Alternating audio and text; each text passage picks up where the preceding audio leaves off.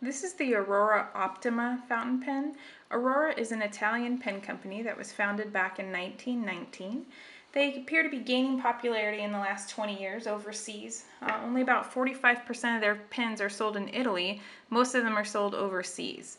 So this pen is absolutely gorgeous. As soon as I opened the box, I just fell in love with this pen. It reminds me, or it's reminiscent of an old uh, Parker duofold. It's probably this bulbous kind of pen clip. It's just a similar design, although the cap band wasn't quite as wide on the duofold.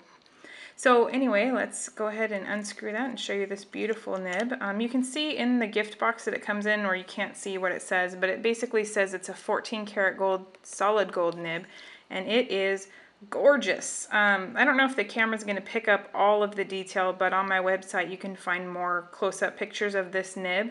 Um, it, like I said, it is a 14 karat gold nib. It is extra wide in terms of the width of the pen versus the width of the nib. It is a very large nib and has a lot of um, delicate engraving. There's some filigree work on there. There's a circle in the center that's stamped 14K uh, for 14 karat gold. And then near the bottom, it's um, stamped with the word Aurora. Absolutely gorgeous pen. Um, it comes in, the, the one that I'm holding is the marbled blue. It also comes in a marbled burgundy and a marbled green. And you get your choice of either gold or chrome plated trim on everything except the green. I believe the green is only available in the gold trim.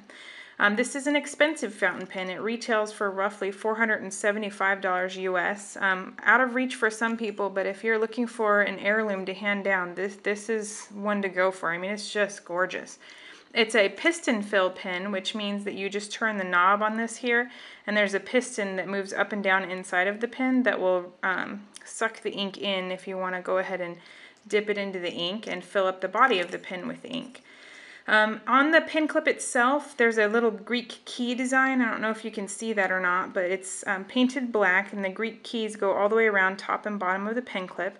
In the center, there's uh, ridges that are delicately engraved, and then the words Aurora, Italy are kind of in relief against those ridges. And it's nice because it does give you a little grip for when you're twisting on and off that cap. Um, gives you a little bit of traction there for your thumb.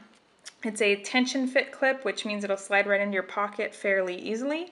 The ends, the derby cap, and the um, piston knob are both black with that blue, gorgeous blue marble in the middle.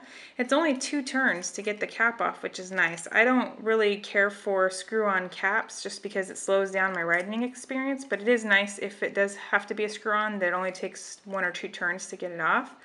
Um, this pen is uh, a little short and stubby, but it is a beautiful pen. It's 125 millimeters capped, 121 millimeters uncapped. It's a thick pen. Um, it's 15 millimeters, I'm sorry, 14 millimeters at its widest point, which would be at the cap band right here. And at the grip point, it's a, just a standard 9 millimeter, so it doesn't feel as wide as it looks. Um, it looks a lot wider than it feels because where you would grip the pen is just your normal standard place. So I guess I was going to um, show you how to ink this pen. So let me just move some stuff out of the way. And just, I'll do a quick dip test for you. This is my Diamine, I don't know if I'm slaughtering the name of that, um, ink, Sargasso Sea. I'm just going to dip it under the ink there for a couple of seconds and let it take some in through the vent hole.